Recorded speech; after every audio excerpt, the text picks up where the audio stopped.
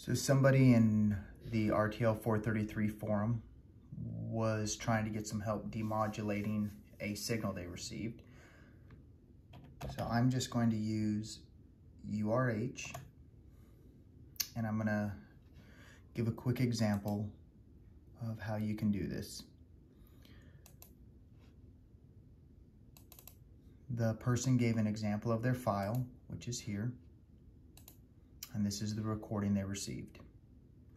One of the first things that I like to do is go in and see where the noise is hitting on here. Okay. And the other thing I like to do is in the demodulated view, look and see how it looks.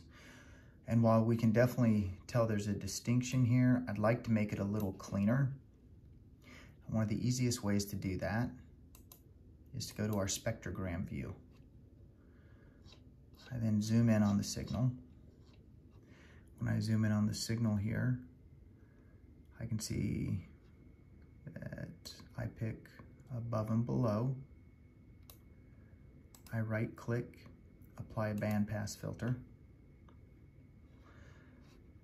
Now we have another view of the signal here, but our noise is a little high. So I'm going to reduce the noise.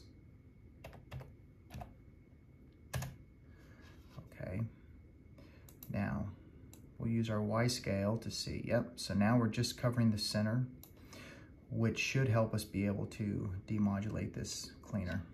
I just zoom in to see how it looks. Okay. I'm gonna go from an analog view to a demodulated view.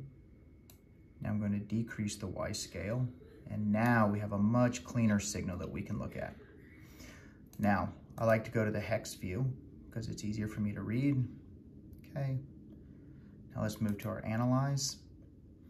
At this point, we're seeing before we applied the filter and after. So let's look at just the one after applying the filter. So we have these six signals that were detected. I again want to go to the hex view. Now that I'm in the hex view, I can see that this is all A's. let's go ahead and see what happens if we invert the view. Now we have all fives. Okay, um, I feel pretty good with that. Doesn't look like we have any major errors. And now what this allowed us to do is actually come in here, be able to see the signal, be able to see what we might be looking for. And now that will help us be able to start finding patterns as to what's going on. So now what I would do is I would record multiple signals doing the same technique and I would look for differences. If I know that the temperature changes, I would see which block changed when the temperature changed. If I was using a remote with different buttons, I would look in here and see which ones changed as the buttons changed. And I would also look to the end to see if it has a type of rolling code or any kind of checksum.